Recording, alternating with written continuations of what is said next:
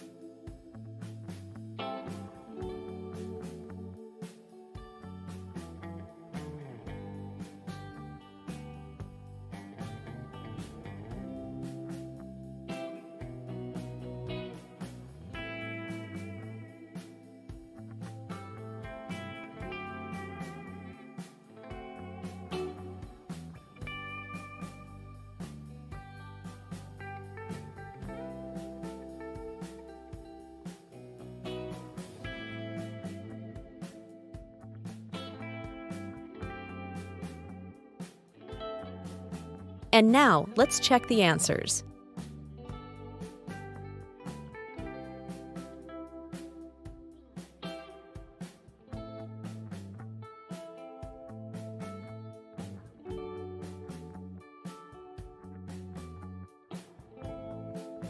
Congratulations! You're really improving. I knew you could do it. Subscribe.